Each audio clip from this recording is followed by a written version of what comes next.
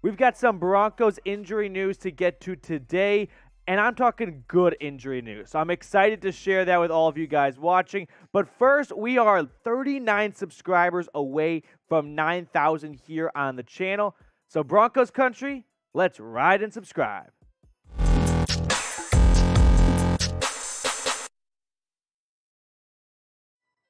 Welcome into the Broncos Breakdown by Chat Sports. Matthew Peterson here, breaking down all of the latest Broncos news because they have made a handful of moves from practice squad to IR to signing and bringing back some guys. And of all that, we still have some injury updates to get to. But let's start things off by looking at what's the preliminary Broncos practice squad. They've still got some names to fill out, but there are some notable names returning to Mile High. Josh Johnson, Kendall Hinton, probably the two biggest names that jump out right there. I, for one, was surprised that Kendall Hinton was cut yesterday. Happy to see him come back on the practice squad. Darrius Shepherd, remember that was the first guy they signed after Tim Patrick's injury. He's back on the practice squad as well. And then Devine, uh, ooh, Devine Ozigbo, the running back who they picked up just last week. He shined in the preseason finale, earning a practice squad spot. Dylan Parham, UDFA tight end, and then Netane Muti. I thought he was going to make the 53 man roster. I mean, for crying out loud, we were talking about this guy starting a month ago. And then in a bit of a surprising move, he gets cut, but he's back on the practice squad along with Quinn Bailey, McTelvin Agim, the former third round pick out of Arkansas, who some would say it was a surprise. I kind of saw it coming personally. I didn't have him on my Broncos 53 man roster projection. He was cut as well. Jonathan Harris and then Kana'i Mauga, another UDFA. And to round it out, we've got Jonathan Kongbo, Jaquan McMillian, and Faion Hicks, the seventh round pick out of Wisconsin. Now, there are still three more open practice squad spots, so keep an eye on that. We'll break that down as that news comes to us over here. But that's how the Broncos practice squad looks for now. So let's get on to the injury side of today's show. But first, I want to share this quick tweet here because I thought this was pretty cool from Mike Klis on Josh Johnson. He's signing on to the Broncos practice squad, and he's going to be making about $300,000. I mean, we always joke that being a backup quarterback is the dream job, but imagine making 300K and all you got to do is just show up to practice a couple times a week and run the scout team defense. I know Josh Johnson would love to be on this roster, and he's tired of being the taxi man, practice squad QB. But hey, making 300K to do that, it's not a bad living right there. Now, we've only got 13 names so far, but I'm curious. Who is your favorite player on the Broncos practice squad? Is it Kendall Hinton, a future Hall of Famer, no doubter? Maybe McTelvin Agim or Josh Johnson. Whoever it is, let me know in the comment section below. Now, we've got some good injury news to get to here. Randy Gregory and Billy Turner were cleared for contact today. This is a very good step in the right direction to seeing them suit up week one at Seattle. I expect them to be able to play. Gregory more so than Turner. Turner with that knee injury is a little bit more of a question mark because it's kind of been an hidden knee injury, right? He failed his physical with Green Bay, and since then we've all just been waiting for him to return.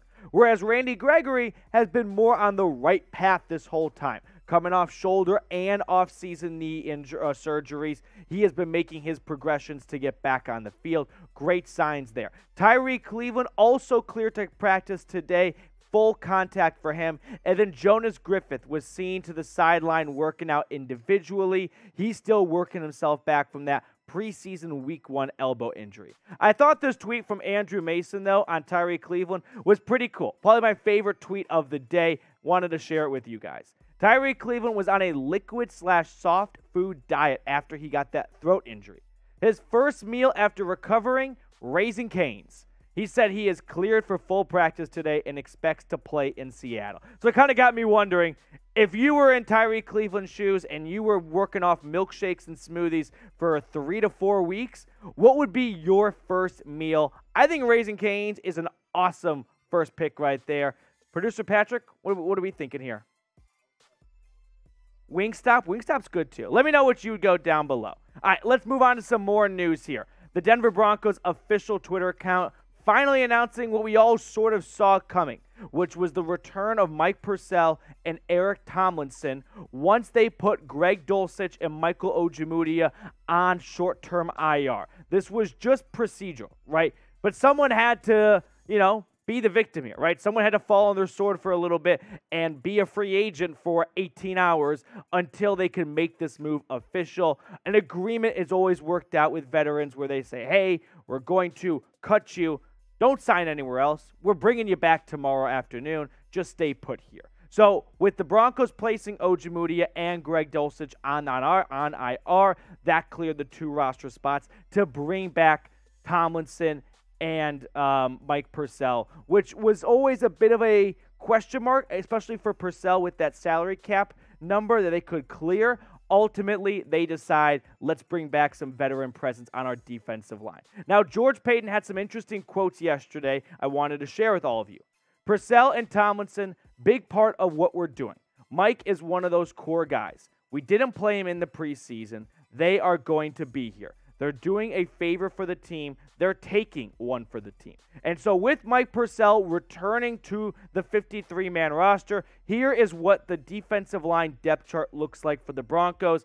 Yesterday, it had five names. Now it has six names, with Purcell joining Williams and the Joneses, Henningsen, and Uwazurike. So I like this because the Broncos' defensive line last year was often all bark, no bite, right? You never really saw them penetrate the offensive line and make their presence known. Although Purcell could have saved a bit of coin, ultimately, I've got no issue with them bringing back an extra piece of depth in case of an injury.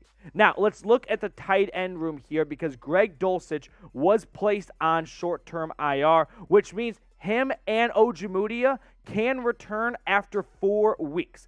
And we got some interesting quotes from Paton here, but Greg Dulcich has been sidelined for quite some time with a bit of a mysterious hamstring injury. We know what the injury is. We just never got many updates on the recovery and when we can expect to see him back on the field. Now, here's what George Paton said on Dulcich. He was really close to coming back, then he tweaked it. I wouldn't call it a setback, but he just can't get over that hump. He thinks he can probably be ready maybe in a week or two, but I've said this a number of times. We want to protect him for himself. So we're going to do that. We're going to take the conservative route, which like we which we like to do with these types of injuries.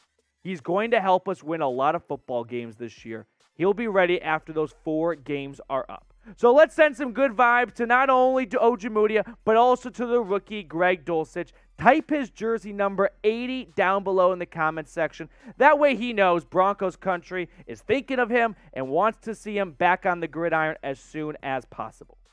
Let's take a deeper dive, though, at Billy Turner and Randy Gregory. So Turner missed not only all three preseason games, but all of OTAs and mandatory mini camp and a good bulk of training camp before he was taken off the pup list. Is he on track to play week one? It's not definitive. It's definitely a good sign of progress of him being cleared for full contact today, as Mike Klis points out here that Randy Gregory and Billy Turner returned. But just because you are cleared for contact doesn't mean you are a shoe in to play week one. It's often a sign of let's see where you're at, right? Let's see how you go and how you fare in full speed 11 on 11. Here's what George Paton said on Billy Turner I'm encouraged with Billy and the strides he's taken the last couple of weeks. I know he wants to play, that's his goal. If not, we feel good with our depth. I think Billy is right on track. Let's take a closer look at that last little bit, the depth part of the quote from George Paton. Calvin Anderson right now is the scheduled week one starter at right tackle. Cam Fleming is going to be that six man until Billy Turner returns. And then if Turner gets his old job back, Calvin Anderson will take over Fleming's role. But for now, the Broncos have nine offensive linemen, three pretty versatile tackles between Anderson, Turner, and Fleming. None of which are just long term options, in my opinion, but they can get the job done for the time being. Knock on wood. Now, as for Randy Gregory, if he is back week one, it's going to be hopefully a fun duo between him and Bradley Chubb for the first time since at least Chubb's rookie year 2018, coming in, right, free bill of health. I mean, no hurdles to get over, no preseason or training camp setbacks. or anything like that. And it's a stacked room, in my opinion. Nik Bonitto, Jonathan Cooper, Baron Browning, Aaron Patrick for special teams.